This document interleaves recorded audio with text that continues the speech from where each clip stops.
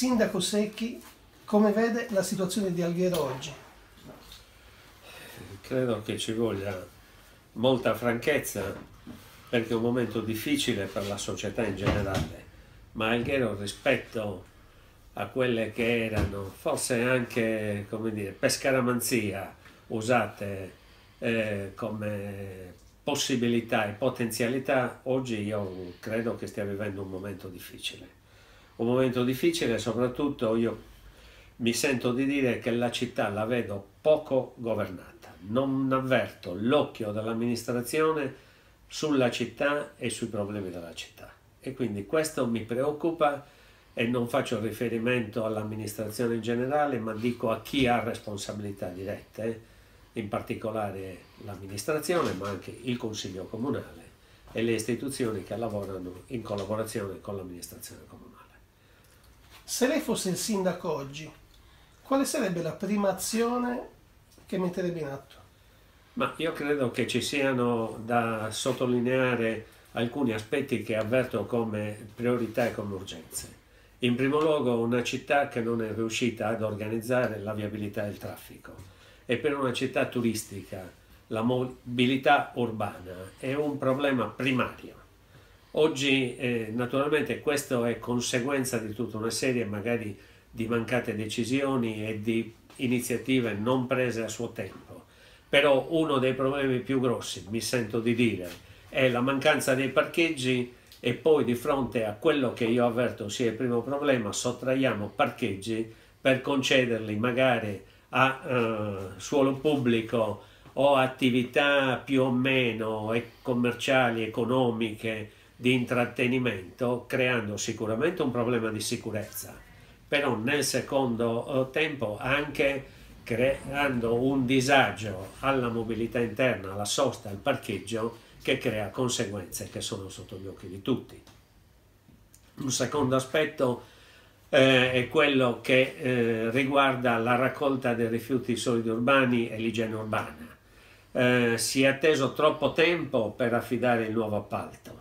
Eh, non c'è stato il coraggio di prendere la decisione quando doveva essere presa e affidare la nuova gestione. Quindi ci siamo trascinati troppo a lungo nel tempo i disservizi della precedente gestione e probabilmente oggi non si riesce a governare il nuovo appalto perché poco qualcosa, devo dire onestamente, è cambiato, qualcosa si nota, alcuni mezzi e presenze in più dei dipendenti dell'azienda sulle strade, però alla fine la città continua a rimanere sporca, eh, è difficile l'immagine complessiva che se ne trae da una continua presenza di bidoni di spazzatura, di eh, cumuli di immondizie. È una città che vuole fare turismo, e che spesso impropriamente è stato definito il centro storico, il salotto buono della città, io non credo esista da nessuna parte del mondo salotti dove si mettono in bella vista i bidoni della spazzatura e tutto quello che ne consegue con i bidoni della spazzatura. L'altro aspetto che mi permetto di sottolineare è che sicuramente io avverto che non c'è stato un, il governo di quello che è stata non solo la gestione del suolo pubblico con le concessioni indiscriminate che poi quest'anno mi sembra siano scappate di mano, ma eh, la, la situazione la riconduco a anni precedenti, quando l'ufficio tecnico, per esempio, che è un aspetto che non colgo nelle dichiarazioni di nessuno, con estrema facilità, espresso anche in disprezzo delle norme vigenti, ha attraverso il meccanismo del cambio di destinazione urbanistica destinato ad attività commerciale, quindi con la classificazione di locali commerciali, qualsiasi buco, grotta o antro del centro storico, senza badare alle dimensioni, all'accesso, perché i locali che poi devono essere destinati ad attività commerciali devono rispondere a una serie di requisiti, quindi le superfici, la, la vivibilità, l'areazione, l'accesso senza eh, scale e trabocchetti vari, la superficie da destinare ai servizi igienici che devono rispettare la norma. Questi sono tutti aspetti che poi fanno pagare ad Alghero un prezzo, che è quello di non essere attrezzata organizzata per presentarsi come una città turistica. Probabilmente forse neanche una, una città che è in grado di raggiungere soglie di vivibilità e di civiltà che probabilmente potevamo raggiungere, ma che uno sbragamento totale ha messo al servizio forse di una categoria che ha avuto più di quello che altre non hanno avuto. Cioè al settore del commercio con la scusa che devono lavorare è stato concesso più di quanto andava concesso, probabilmente anche a danno loro, non solo a danno della vivibilità e delle condizioni generali di vita di questa città. Se dovessi dare un voto all'attuale amministrazione, quale sarebbe e perché? Ma io non, non lo quantificherei in numeri, io dico che un'amministrazione che non è entrata nel vivo dei problemi, quindi non merita una promozione ed è un'amministrazione che io ho sostenuto. Forse l'ho sostenuta perché alla fine, eh, come di solito si dice, cerchi il meno peggio. Eh, però se questo era il meno peggio mi chiedo che cosa sarebbe stato l'altro. Ma in ogni caso eh, io mi rendo conto e mi permetto di dire che chi si è posto eh, all'attenzione dell'elettorato. Per governare questa città evidentemente non aveva idee e non conosce la città e non conosce i cittadini di questa città. Io vedo che i consiglieri comunali sono privi di idee e di proposta, non entrano nel merito del dibattito praticamente di niente, non assumono posizione sul niente, all'infuori di un chiacchiericcio generale di un pettegolezzo generale, che spesso sono informazioni e notizie riportate, e penso soprattutto quando fanno riferimento a cose del passato, sono cose che hanno sentito raccontare, ma che non hanno una conoscenza diretta di quella che è stata la storia della città. Un, un, un, un aspetto per tutti. Era tradizione e non è una norma scritta che nel periodo estivo, diciamo il mese di luglio ed agosto, non si consentivano cantieri di, di nessun genere all'interno del centro storico. Questa era una tradizione consolidata e già l'ufficio tecnico eh, preveniva la decisione delle amministrazioni comunali impedendo. Qui invece ognuno è libero di venire, montare un cantiere nel pieno del centro storico e farsi i lavori durante l'estate, quando la città deve essere accogliente, deve essere accogliente e soprattutto per la pressione che ha di presenze deve essere anche più snella nell'accogliere e nel consentire la mobilità, ma anche cantieri di opere pubbliche, perché non è ammissibile che a fianco alla torre di Suli ci sia un cantiere che ha iniziato i lavori prima del Giro d'Italia e continua a essere lì un cantiere con un passo che neanche il sindacato tiene, eh, tanto è, è, è cadenzato e lento. Sono tutti aspetti che non ci faranno morire, ma che sicuramente non giovano questa, a questa città. Quindi questo è il, il, il segno, che, è, è il segnale che danno questi amministratori che oggi parlano, parlano, io li vedo molto agitarsi parlare e poi soprattutto è tutta gente che elabora eh, posizioni o che assume posizioni elaborando eh, pensieri autonomi o di piccoli cerchi perché purtroppo sono privi di quel consiglio che un tempo veniva dato ai consiglieri comunali dai dibattiti che c'erano dentro i partiti e che oggi più non ci sono. Dia invece un consiglio a Mario Bruno da sindaco a sindaco. Ma da sindaco a sindaco mi sento di dirgli, gliel'ho già detto, però lui doveva essere, sono già passati tre anni. Eh, Mario Bruno è troppo temporeggiatore, eh, è sempre pieno di slanci e di buone volontà, ma non è conseguente con gli slanci e le buone volontà. Eh, lui dovrebbe essere più determinato, più eh, puntuale e non ha fatto una scaletta di priorità. Lui su tutto insegue, va a ruota libera.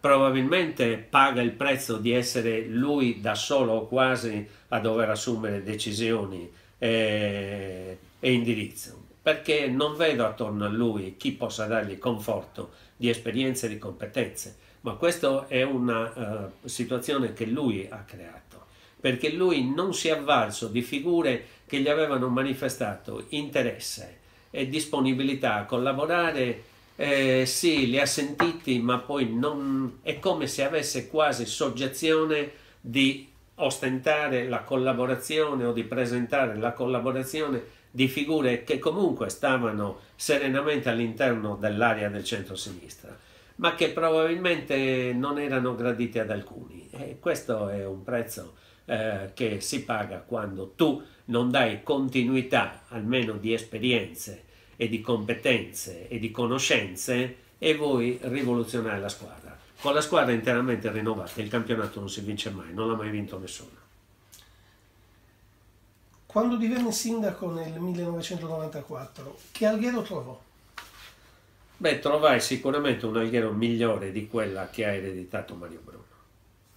Eh, per esempio, un altro aspetto che mi permetto di sottolineare, perché alla fine l'ho verificato sul campo, è che io la prima cosa che ho fatto eh, quando mi sono insediato in comune, a parte il fatto che io venivo da una lunga esperienza amministrativa, io sono stato eletto per la prima volta in consiglio comunale nel 1980 dove ho svolto ruoli diversi. Ho fatto l'assessore con Enrico Lofredo, sono stato leader dell'opposizione, eh, ho maturato esperienze importanti e sono stato un acerrimo eh, avversario di, di, sindaci democristiani, non ultimo Pino Giorico. Il discorso però è che quando io sono stato eletto sindaco, dopo un periodo commissariale e successivamente al sindaco Giorico, la prima cosa che ho fatto sono andato a cercare che cosa mi avevano lasciato in eredità di iniziative, di progetti, i sindaci che mi avevano preceduto.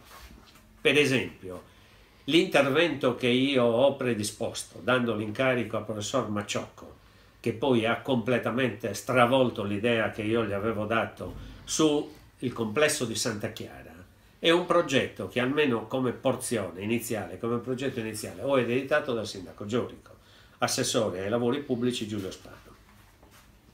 Era un lavoro che loro avevano contemplato su Santa Chiara all'interno di un finanziamento dell'Interreg 2 che stanziò delle somme per gli spazi espositivi delle città di Olbia, di Porto Torres e di Alghero. Giorico individuò il complesso di Santa Chiara come l'intervento da farsi per recuperare uno spazio, era già stata dismessa come chiesa, la chiesa di Santa Chiara è stata sconsacrata, più attorno ci ruotavano una serie di realtà terribili, eh, il degrado sociale più assoluto, c'era morta gente dentro il complesso dell'ex ospedale e noi lì puntammo a recuperare l'intero complesso, tant'è che io, in collaborazione con i vigili del fuoco, emisi un'ordinanza per evacuare e liberare completamente l'intera area dell'ospedale civile. Ecco, questo è un segnale, non l'ho mai negato e non perdo i gradi per il fatto che io ho messo in moto quel meccanismo. Quando ho recuperato appieno il forte della Madalenetta, eh, concordando con i calafatti che ormai erano eh, non più operativi, era l'idea di recuperare appieno quello spazio per fare un teatro all'aperto, che era stato già utilizzato in anni precedenti. Vi ricordo che lì, quando ancora faceva ridere Peppe Grillo, ottenne uno degli spettacoli più belli e più coinvolgenti che mai si sia fatta da Alghero. Quello doveva essere. Allora, in questo discorso, come il discorso dell'ex eh, caserma Umberto I, quello che adesso chiamano Luqualtè, che anche allora era chiamato Luqualtè, però in una logica diversa. Allora tu devi entrare nel merito delle cose, eh, dare una continuità. Persino l'idea progettuale della, di Via Garibaldi e della passeggiata a mare nasce da un'idea di professor Bousquet che partecipa a un convegno fatto sul finire degli anni Ottanta sulle città di mare e che rimane lì nel cassetto, giace, Pino Giorico non lo utilizza, non se ne avvale. Io lo recupero come idea, trovo il meccanismo per dare e non nego, capito? Non sono io. Io ho formalizzato solo l'incarico al professor Bousquet, ma queste erano le cose che bisognava fare. E poi ci sono cose che in quel momento, per esempio, le piste ciclabili, la prima vera e significativa pista ciclabile è quella che parte da Fertile e va al nuraghe di Palma, al complesso nuragico di Palmavera. Quella pista doveva continuare per arrivare sino a Porto Conte, alle, alle spiagge di Porticciolo e a Capocaccia. Invece siamo riusciti a fare una pista ciclabile che forse unica in tutta Europa e negata alla, alle ciclisti che è quella di Valverde con tanto di cartelli che vietano alle biciclette di percorrerla, finanziata dall'Unione Europea, dalla Commissione Europea. Cioè sono cose che a volte quando si vuole scimmiottare, ogni amministrazione ha una vita a sé stante e deve dar conto per quello che fa, non perché. Io purtroppo ho vissuto l'esperienza negli anni successivi alla mia esperienza di essere stato criminalizzato in tutte le cose che avevo messo in moto. Credo che sia stato solo un danno che questa città ha subito e un torto che questa città ha subito. Però ognuno è responsabile delle sue azioni. Allora, Mario poteva utilizzare meglio alcune cose del passato, come la pianificazione urbanistica. Noi siamo inchiodati alla primavera del 98 quando io, con una grande eh, determinazione, portai all'attenzione del Consiglio Comunale il piano urbanistico comunale, in rispetto della legge 45 dell'89, se non mi confondo eh, era, era uno strumento fondamentale per lo sviluppo economico di questa città. Però in questa città, dove si concepisce solo l'idea dell'urbanistica come eh, volumi e metri cubi, eh, naufraga, perché tutti siamo convinti di poter ripetere nel, nel tempo la mitica notte dei lunghi pennarelli. Non succederà mai più anche perché oggi c'è un occhio diverso in termini di attenzione da parte della regione. Queste sono cose che purtroppo ah, avvertiamo e siccome l'accordo non quadra perché ognuno vuole difendere interessi di parte, ma perché non c'è una visione generale della cosa pubblica. Noi siamo riusciti, adesso continuiamo a parlare di scuole, si lancia con il progetto regionale termine le scuole, però noi abbiamo la situazione degli istituti superiori che fatta eccezione per il liceo scientifico e per l'istituto industriale, abbiamo il liceo classico, che è la scuola più antica di Alghero, che non è a norma, perché non ha le aule speciali, non ha gli spazi, non ha una serie di eh, eh, necessità primarie che gli consentono di essere scuola in regola. L'istituto alberghiero, che è veramente un'indecenza inserita. Per esempio, Mario, perché non si è dato da fare per dar corso a un provvedimento che lui ha firmato con me in Consiglio regionale di mettere in vendita quel caseggiato che è di proprietà della regione e rivendicare un nuovo edificio scolastico per l'istituto alberghiero, che è una scuola simbolo per Alghero, come lo era la scuola del Corallo, diventata poi istituto artistico e liceo artistico, però sempre prive di aule speciali, di condizioni speciali che non le consentono di essere una scuola moderna. Stiamo parlando di scuole simbolo di questo territorio, perché la scuola del Corallo era una scuola simbolo e, e poi alla fine ha perso il corso del Corallo, tristemente. Eh, L'istituto alberghiero, che ha diplomato fior di chef stellati, però continua a vivere in una situazione di difficoltà e di disagio. Quando è venuta la ministra Fedeli qui, eh, tante belle dichiarazioni, però ha seguito qualcosa dopo la visita della Fedeli. Io non credo che si sia mosso nulla, per non parlare poi dell'edificio scolastico più prestigioso di Alghero in termini di immagini, che sono le scuole vecchie, che sono state mutilate tra l'indifferenza generale, privandole di spazi che sono obbligatori per legge avere, come gli spazi per l'attività motoria e l'attività ludica.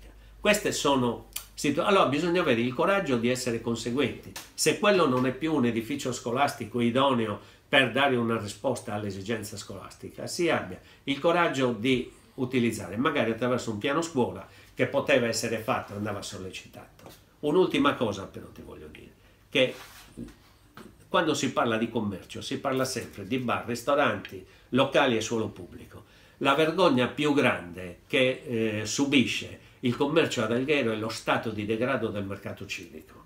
Quella è una cosa che non riesco a sopportare, che ho chiesto al sindaco, agli assessori che si sono alternati di metterci rimedio. Un, un, un, una città turistica dovrebbe avere nel mercato civico uno dei primi e puntuali punti di richiamo, perché in tutte le città turistiche i mercati rappresentano un'attrazione di grande importanza e di grande vivacità. Si va lì per primi, tanto più se città turistica di mare.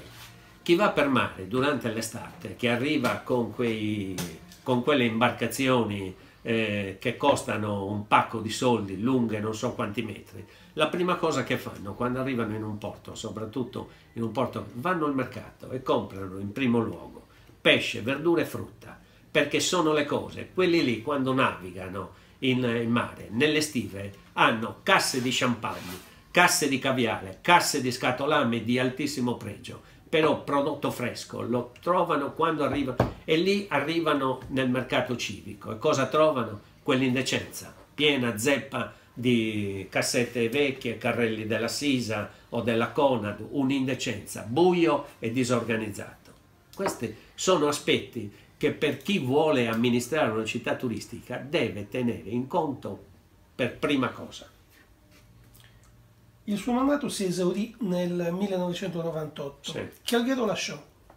Beh, lasciò intanto un alghero pulita, che è il vanto di cui mi, mi, mi, mi eh, pregio di più di sottolineare. Avevo ereditato la Saspi eh, e ho affidato alla SLIA il nuovo appalto della raccolta rifiuti. Mi si accusò che c'era un salto di costi eccessivamente elevato però siamo usciti dall'immondezzaio in cui ci aveva condannato la SLIA che aveva operato di sei mesi in sei mesi in regime di proroga per anni in una città pulita, profumata e accogliente.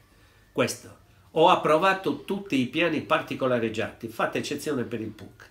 Il piano del, del centro storico, che oggi è puntualmente disatteso. Ho detto a Mario, ah, avete sbagliato a non ricostituire l'ufficio di centro storico perché è uno strumento essenziale al fianco dei cittadini, sia dei cittadini residenti, sia dei cittadini commercianti, sia di tutti coloro che operano nel centro storico. Ho lasciato il piano approvato delle zone B1 B2, che subì poi un secondo passaggio in consiglio comunale che riguardava gli abbattimenti. Praticamente il piano è rimasto intatto, però poi alla fine si aggiunse una postilla che a seguito di abbattimento l'area recuperava il massimo della volumetria prevista dal piano. Ed è il risultato di questa città che ormai non ha più una, un'arteria eh, in grado di sopportare il traffico automobilistico e pedonale di questi giorni, che ha un sovraccarico di edificato più di quanto sia consentito, non ha spazi per il, lo svago e il tempo libero, non si pensa più a una piazza, non si pensa più a uno slargo, non si pensa più a quegli spazi di vivibilità che oggi sono negati, non c'è più uno spazio per i, per i giovani che un tempo trovavano anche nella strada un momento e un'opportunità per aggregarsi ed incontrarsi. O abbiamo approvato il piano particolareggiato delle aree artigianali, che erano tutti strumenti che derivavano dal vecchio piano regolatore generale. Quindi questo abbiamo fatto una serie di interventi di opere pubbliche, il recupero del mercato, l'avvio del recupero del piano del palazzo civico, gli interventi fatti a Fertilia, fatti nelle, nelle borgate. E oggi Fertilia vediamo in che stato si trova. Bisogna avere uno sguardo lungo eh, quando eh, si amministra e non chiuderci all'interno di di un recinto stretto. E bisogna soprattutto avere l'umiltà e la pazienza di ascoltare tutte le categorie e non solo quelle che in qualche modo hanno più arroganza nel farsi sentire. E questo è un limite che molte amministrazioni hanno. Ho lasciato un patrimonio di iniziative in campo culturale. Ho lasciato in eredità un rapporto corretto, corretto eh, nei confronti della catalanità, che oggi invece è piegata e al servizio di non so chi. E non voglio aprire polemiche di questo genere nei suoi anni di mandato c'è qualcosa che ha fatto e della quale in qualche modo si è pentito ed una cosa che non ha avuto tempo o modo di fare? Beh, è, eh, che ho fatto e mi sono pentito, no, eh, devo dire, ho lavorato a, eh, con il massimo dell'impegno che, che mi era consentito. Eh, mi è mancato il tempo, sicuramente se avessi avuto un secondo mandato la possibilità di amministrare la Ghero nel secondo mandato avrei messo in opera quei progetti che ho avviato eh, dal recupero del, del complesso dell'ospedale che è nato per diventare la sede del museo della, del corallo e della civiltà del mare e poi è stato impropriamente eh, trasformato in sede della facoltà di architettura. Ben venga la facoltà di architettura che era nata all'interno di un progetto che ho lasciato in eredità ai miei successori e che lo hanno ammazzato, che è la consulta delle città storiche del Mediterraneo.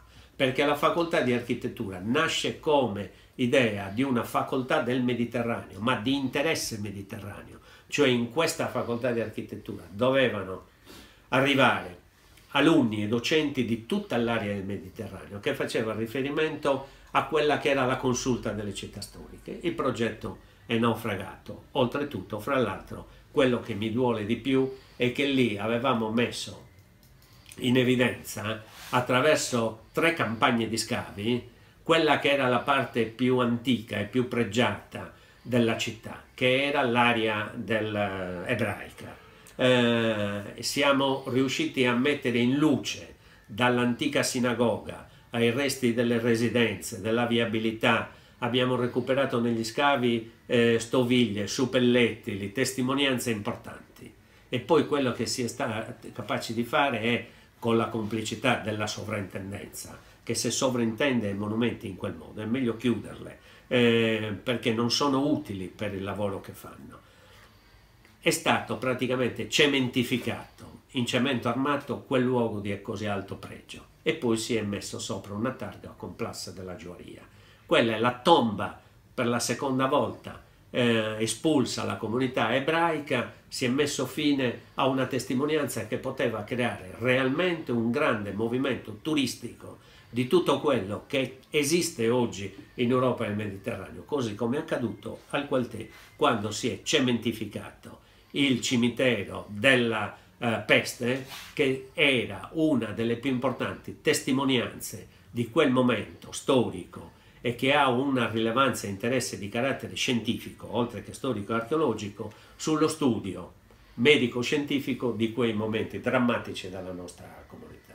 Queste sono le cose. Il progetto, io sicuramente ho, sono stato il primo, eh, il primo sindaco del primo comune d'Italia che ha siglato il convegno col Ministero dei Beni Culturali attraverso la sovrintendenza archeologica, dottoressa eh, eh, Fulvia Lo Schiavo per il passaggio dei beni della sovrintendenza dei siti archeologici al comune d'Alghero, sulla quale avevamo lavorato il progetto delle vie di Nure, che era una sede che aveva aperto in via Sassari, una sede centrale dove attraverso eh, il sistema internet si visitavano i siti e poi materialmente si andava a visitarli sul luogo e i siti interessati erano Sant'Upedro, eh, Angelo Ruio, eh, Palmavera e Sant'Imbenia. Sono tutte cose che incominciavano a dare un segnale di cambiamento, però torno a dire e ripeto, non ho mai criminalizzato le precedenti amministrazioni, cosa che invece mi è dispiaciuta molto, ho subito, nonostante l'impegno e il lavoro che abbia fatto in quegli anni. Parlando proprio dell'impegno e di tutto quello che ci ha detto, Cosa provava e cosa prova quando qualcuno la definisce o la ricorda il sindaco immobile? Beh, evidentemente questo qualcuno deve essere sicuramente in malafede, se non, è, se non altri problemi di, di carattere eh, eh, d'altra natura. Immobile, immobile dove? Da una parte mi accusavano di essere troppo mobile perché andavo troppo fuori e quando sono andato fuori però ho sempre tutelato gli interessi di Alghero. Eh, sono stato il sindaco e sfido chiunque a mettere in campo, basta andare a guardare che cos'è il piano delle opere pubbliche di quell'amministrazione e delle altre amministrazioni. Siamo l'unica amministrazione che ha fatto un piano scuola con eh, Pino Tilocca eh, per cercare di razionalizzare gli edifici scolastici e metterli a norma. Siamo l'amministrazione che ha rivolto attenzioni serie e vere nei confronti del recupero e agibilità degli impianti sportivi. Eh, abbiamo promosso attività sportive come mai se ne erano viste in questa città, tant'è che il risultato è che la carenza degli impianti, certo che oggi è un problema, oggi non ci sono più risorse, sicuramente io disponevo di molte più risorse di quanto non ne disponga oggi Mario Bruno e i suoi assessori, però allora le avevamo e le abbiamo messe in campo siamo quelli che hanno realizzato dopo più o meno 15 anni il campo con la pista di atletica, che era un progetto nato dalla regione con allora assessore allo sport e alla pubblica istruzione Fausto Fadda. eh, progetto dell'ingegnere Antonio Frugno.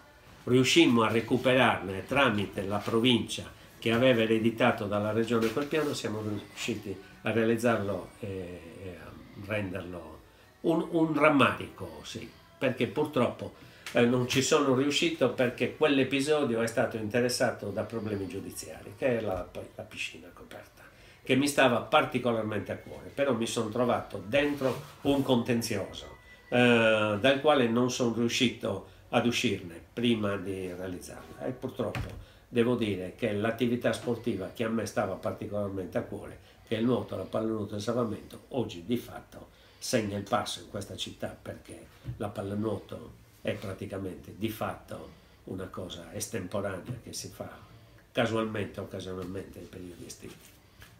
Ci può raccontare qualcosa di inedito di quando era sindaco, un fatto che magari non è venuto fuori, anche una cosa simpatica?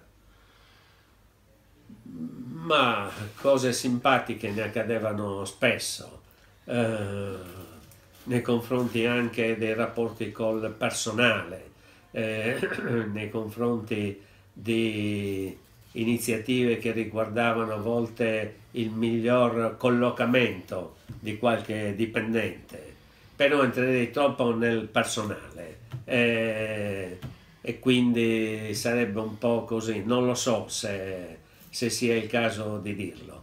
Però io, io una cosa posso dirla, anche qui recuperando un, una cosa eh, che la gente mi riconosce che è nota che in quegli anni il comune di Alghero parlava in algherese.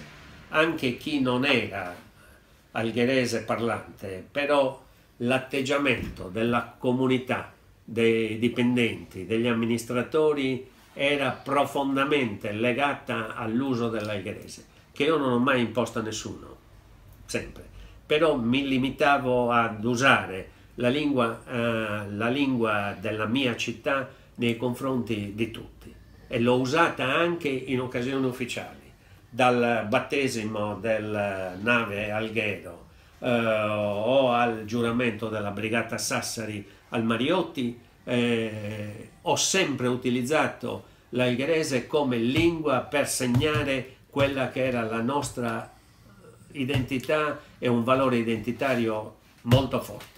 Abbiamo lanciato i corsi eh, di algherese nei confronti della scuola, non dimentico mai l'impegno che profuse in quegli anni Carlo De Martis eh, nel gestire non solo l'assessorato ai servizi sociali ma anche l'assessorato alla cultura. Ed era, ed era un, un, partecipare. Lanciamo i progetti europei, i progetti europei legati al turismo, Horizon, eh, tutto, Totellani, ADAP, eh, coinvolgendo comunità dell'area mediterranea. Oggi mi sembra che non si raccolgano queste cose. Io credo che prima o poi qualcuno farà giustizia e mi riconoscerà. Probabilmente ancora oggi avverto, come dire, eh, la non disponibilità a riconoscere le cose che ho fatto. Ma il, io ho accettato serenamente il giudizio dell'elettorato eh, nel giugno del 98. Ne ho preso atto. Ero davvero solo contro tutti, eh, persino con, contro parte di quelli che mi avrebbero dovuto sostenere nella mia coalizione, però quella è un'altra storia, è un'altra storia che un giorno magari qualcuno scriverà. Lei è stato un sindaco di sinistra tra due sindaci democristiani, Pino Giorico prima, Tonino Baldino dopo. Come è cambiata la politica negli ultimi 15 anni ad Alghero, da allora ad adesso? Ma eh, io, io, posso dirvi che tutto quello che ho fatto in termini di iniziative, di progettualità, aveva sempre una ragione, dovevamo raggiungere un risultato. Eh, io ho visto, per esempio, Pino Giorico, che sicuramente è stato dipinto da tanti come un cattivo sindaco, molto coso. Io invece riconosco che intanto Giorico aveva amore per Alghero probabilmente aveva amori più forti rispetto ad amori più deboli, però era un uomo che sicuramente voleva bene ad Alghero, lo faceva a suo modo, lo faceva pesare, eh, ti sottolineava le iniziative che lui aveva intrapreso. Io non ho fatto pesare mai niente a nessuno. Ho cercato di mettere il cittadino sempre nelle condizioni di non dovermi mai dire grazie, cosa che invece dopo si è ripetuta. Ecco, questo segna per me la differenza tra la mia esperienza amministrativa e altra. Nessuno può dire che è venuto a casa mia a suonare il campanello. In comune però ho ricevuto tutti, nonostante qualcuno dicesse che io non ricevevo. E mi ricordo che un giorno un ragazzo eh, che viveva ai margini della nostra società entrò in via Columbano e probabilmente riuscendo a passare indifferente arrivò sino all'ufficio del sindaco. Entrò, buongiorno, buongiorno signor sindaco, così recuperiamo un episodio. E, e poi, bella, vieni, vieni. Non era una ragazza. Eh, ma posso venire? Posso, posso entrare? Ma certo, vieni, vieni. Eh, quando si avvicinò alla mia cattedra mi disse, e dicono che lei non riceve nessuno, si è ricevuto persino me. Questo era comunque un aspetto che, che la gente non coglieva, perché la gente non è che non venisse ricevuta da me, è che da me pretendeva comunque ascolto e soddisfazione di quello che mi chiedeva che non potevo ottenere. Se posso dire una cosa, ho difeso a spada tratta l'applicazione delle regole nei confronti di amici e di nemici avversari politici e nemici politici a cui spettava una concessione edilizia o un'autorizzazione gli veniva concessa. E nessuno può dire che io non gliel'ho data. Se non gliel'ho data vuol dire che le norme e i regolamenti non lo prevedevano, così come ho perso, diciamo, delle amicizie con la scusa, ma io votato e tu non masa perché? Non te lo... Ma se il sindaco vuole, può, ma il sindaco non vuole perché il sindaco vuole applicare le norme e di questo me ne faccio un vanto. E poi siamo andati come siamo andati. Le campagne elettorali sono sempre uguali? No. Io devo dire che non ricordo una campagna elettorale fatta come quella che feci io nel 94. Io nel 94 ero, eh, come dire, fuori dal recinto, perché io ero il leader di Sardegna Libaltate. Sardegna Libaltate aveva sempre un consigliere comunale, però se vado a rileggere la militanza, l'azione, l'attività politica di denuncia, guarda che non abbiamo denunciato mai nessuno con cattiveria, però abusi edilizi, eh, concessioni, soprusi, assunzioni, li abbiamo sempre denunciati con fermezza. E quando qualcuno è stato in qualche modo condannato non ho gioito, anzi per alcuni aspetti mi è anche dispiaciuto. Però era l'unico modo per alzare come dire, un vessillo di legalità in una città in cui la legalità soffriva. Eh, c'erano troppe attenzioni particolari e io credo di aver vinto nel 94 sicuramente perché sono riuscito a dare questo segnale che io rappresentavo il cambiamento. Il cambiamento c'è stato. Ricordatevi che nel marzo del 94 al Parlamento vinse a mani basse Forza Italia io ero dato per spacciato e il, e il PDS accettò la mia candidatura perché loro davano per scontato che avrebbe rivinto Forza Italia. E voi sapete che il risultato fu tutt'altro. Credo che mai nessun sindaco sia arrivato a quelle percentuali di voto. Ed ero, come dire, il condottiero di quell'idea, di quel progetto. Nel 98 ci fu una valanga poi di infamie, di accuse che poi ho dovuto eh, sbrogliare in dieci anni di vicende giudiziarie, del quale eh, ogni volta che ho l'occasione, ripeto, ne sono uscito a testa alta dopo aver rinunciato alla prescrizione. Tutti, pretendendo la sentenza nel merito, perché quella era una montatura di accuse infamanti, di lettere false, di lettere anonime, di accuse che costruivano castelli che non c'erano. Qualcosa mi è dispiaciuto, per esempio il fallimento di Monterricciu e sarebbe stata una grande opportunità. Io credo che un esempio di quello che poteva farsi a Monterricciu ce l'abbia dato Angelo Scognamillo con quel complesso che ha lì sulla strada, che è molto più piccolo. Monterricciu poteva rappresentare una cosa più grande. Mi dispiace la non approvazione della lottizzazione Calabona, perché lì si è voluto pagare, far pagare un prezzo alto a Giancarlo Scognamillo che non era un protagonista della lottizzazione Calabona. portò il suo nome. Ma come può succedere di là la lottizzazione Burruni e più, solo perché si dà il nome di uno dei 20, dei 30 lottizzanti. Fra l'altro in quella lottizzazione Calabona c'è anche una proprietà del comune.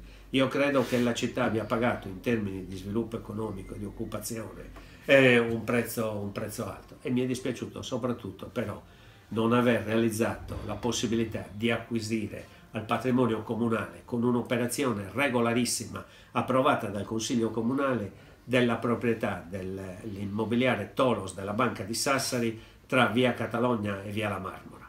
Quello era un complesso straordinario, ma che con, con una cattiveria inaudita si è cercato di demonizzare e oggi il risultato è che il comune ha pagato un prezzo alto, non per responsabilità della mia amministrazione che l'aveva acquistato in un momento di necessità da parte della Banca di Sasse, quindi a prezzi convenienti, e poi è finito che ha pagato molto di più senza avere il bene, perché il bene è ritornato nella proprietà della Banca di Sassari, oggi Banco di Sardegna. Queste cose sono, quindi l'aria era diversa e quando la campagna elettorale, per tornare alla domanda iniziale, non ha dietro quella spinta di partecipazione, di convinzione di vari strati della società algherese, perché io non, non so, eh, conosco alcuni, ma la gran parte della gente che mi sostenne in quel momento, io non la conoscevo, probabilmente non ho mai avuto neanche rapporti, è gente che mi ha votato per fiducia e per stima, anche per un trascorso eh, in consiglio comunale importante e presente. Ai tempi di quella campagna elettorale, si ricorda il momento nel quale ha capito che sarebbe potuto diventare sindaco e se invece c'è stato un momento nel quale ha detto no, non ce la faccio. Ma, eh, sono andato in campagna elettorale, ho capito dopo il primo turno.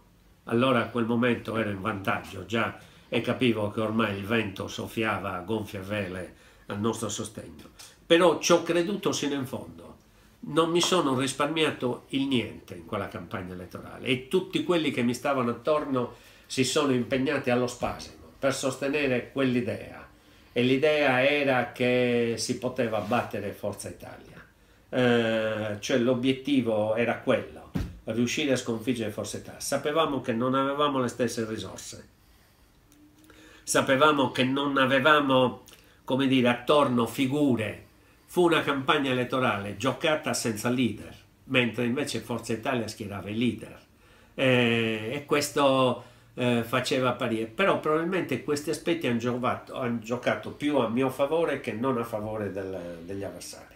Ricordatevi che quando io decisi di candidarmi, era già nell'aria, ma noi proponemmo a, al PDS eh, la mia candidatura e il PDS era un po' tentennante, eh, il Partito Popolare aveva candidato Martino Loretto e qualcuno mi diceva Carlo Se, ritirati, perché se si candida Martino Loreto non ce n'è per nessuno e ci vedremo. Eh, comunque raggiungeremo un risultato che ci continuerà di rimanere in consiglio comunale e continuare le battaglie di sempre. Non mi ha fatto perdere la serenità né il buon umore, eh, però io credo che la determinazione e la convinzione con cui facemmo quella campagna elettorale ci aiutò in un modo straordinario.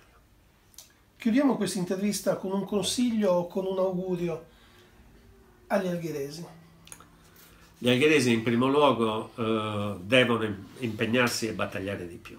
Non si delega alla cieca, non si vota col fegato e non si sostiene col fegato nessuno. Bisogna avere l'equilibrio di scegliere, e non dico il sindaco, di scegliere la squadra per esempio, una cosa che i sindaci ormai hanno preso l'abitudine di non fare è quella di non schierare la giunta prima del ballottaggio almeno.